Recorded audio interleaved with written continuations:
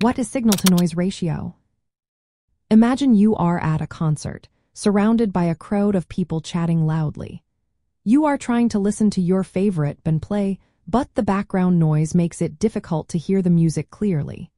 This scenario illustrates a concept that is essential in various fields, including telecommunications, audio engineering, and even photography.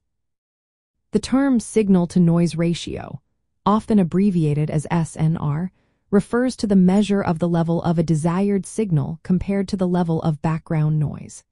In simpler terms, it quantifies how much useful information is present in a signal versus how much unwanted noise is interfering with that signal.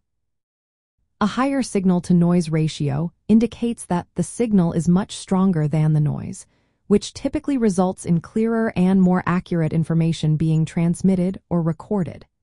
Conversely, a lower signal-to-noise ratio means that the noise is more prominent, making it harder to distinguish the actual signal.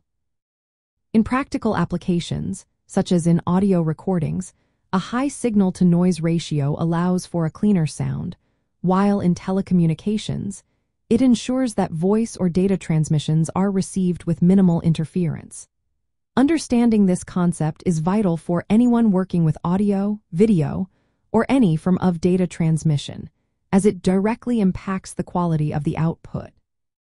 To calculate the signal-to-noise ratio, one can use the formula SNR equals the power of the signal divided by the power of the noise. This ratio is often expressed in decibels, which provides a logarithmic scale to representing the difference between the signal and noise levels.